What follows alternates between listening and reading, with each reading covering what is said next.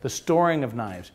So storage is very, very important. Okay, the best place I've ever seen a knife rack is you open the cabinet door and there it is on the back of the door.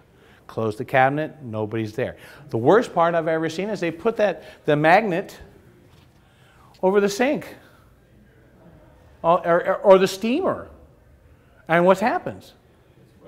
Everything gets rusted, and then they come in, they got two, two rust marks across where the knife sits. Now, which is better? Handle down?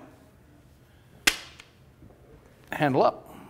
My consensus is this. Which way do I want this knife to fall? Like this or like this? I don't want, I love my toes, but this is the way I would recommend that you store it. So now we're going to go into knife covers. For an example, this one here is just a folded piece of crimped plastic. Okay, to put this away, you put it heel to toe.